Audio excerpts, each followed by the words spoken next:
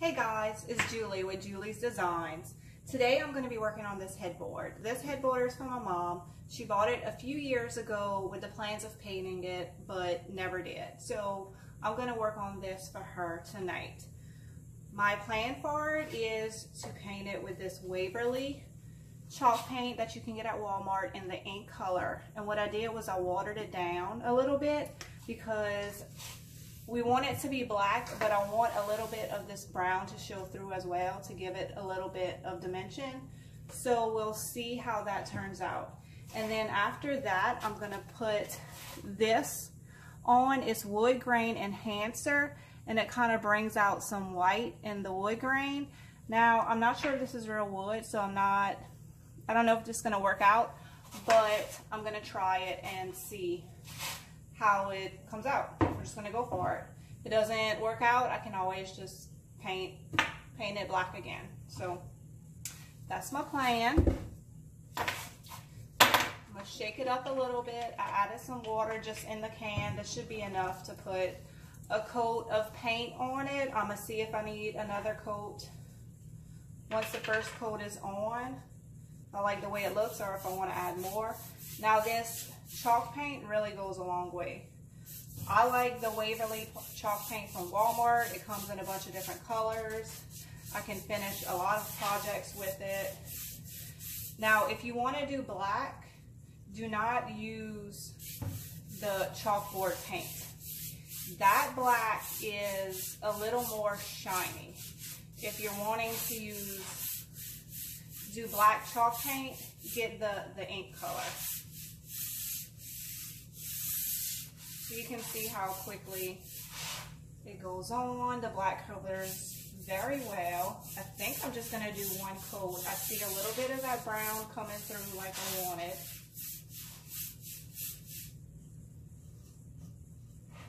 That way it's not just going to be a flat black.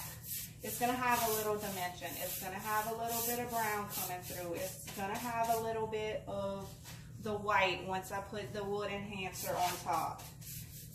I don't want to distress it. What she's trying to do is kind of match this dresser that she already has in her room, which is kind of what I'm going for. The black with a little bit of brown showing through. It's not distressed, so I don't want to distress it and have the brown come through. So right now, it is late on a Friday night. It's around 11 o'clock at night.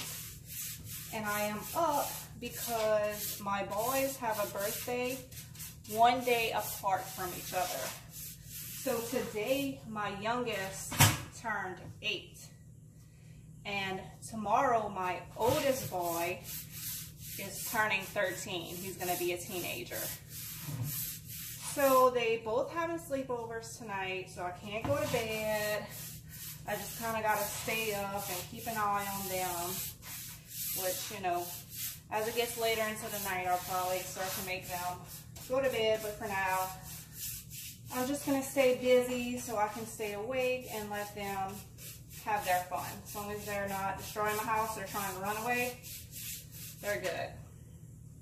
Which the little boys are starting to settle down. And the big boys are just, you know, playing video games.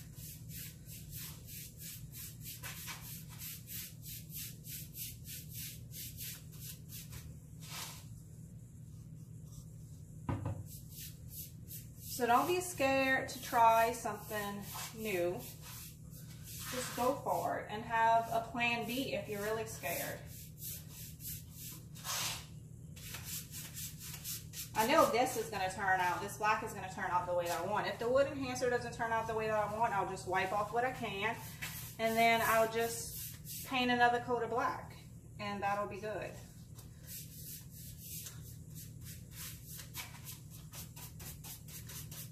So, um, I've been helping my parents redo their master bedroom and bathroom. They had a major water leak. They had to gut everything. So they just, the house was built about 30 years ago. So everything just needs to be updated. So I'm helping them kind of update stuff. So that's why this headboard is finally getting painted after all those years. When my mom moves everything back in her bedroom, she wants it just the way she had imagined it. So, and this, the wall behind where this bed is going is going to be a light color. So this headboard's really going to stand out and look good.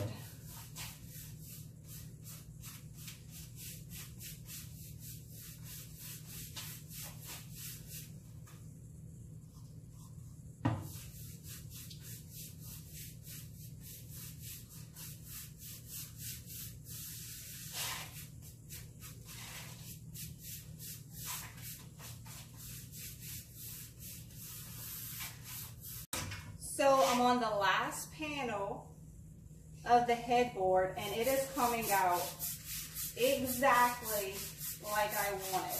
The paint's a little bit watered down so you see a little bit of the brown showing through and there was also some white in the wood grain already and that's also showing through. So I don't think I'm gonna put the wood enhancer on. I think it looks exactly like I want it. Now when I get it in the room, and I feel like it needs something more, then I may add to it. But I think this is the look we are going for. I think my mom's gonna love it. I think it's going to look great in her room. I'm so happy I watered down this paint. I think if I would have just did the ink black chalk paint, not watered down, it would just be too, too black. It wouldn't have any dimension. It would just be flat black. You water it down a little bit. Some of this brown showing through, some of this white showing through. I'm gonna bring y'all in and give y'all a closer look at it. And I'm not going heavy on the paint. I just put a little bit of a paintbrush and I smooth it out as much as I can before I dip my paint back in. I think that's good.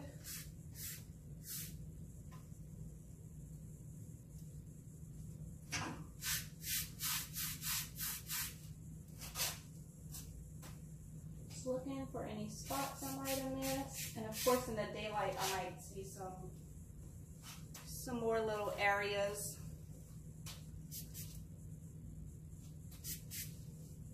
Looks great. So you can see that it's black, but you can see some of the brown showing through and then some of that white wood grain and I didn't fill in the cracks so it still has the crack pattern and the wood grain coming through and I just did one coat of that watered down black and it came out exactly like I wanted. I think it's going to look great in my mom's bedroom. I think this is exactly what she wanted. So I'm done with my project for the night. It took me about 10 minutes to complete it, not very long. It was very quick and easy. I only did one coat of that watered down black and I think it's good to go. Um, so that's it. Just stay tuned. Like I said, I'm helping my parents redo their bedroom and bathroom. So I'll be putting up more videos as I help them remodel. Thanks for watching and give this video a big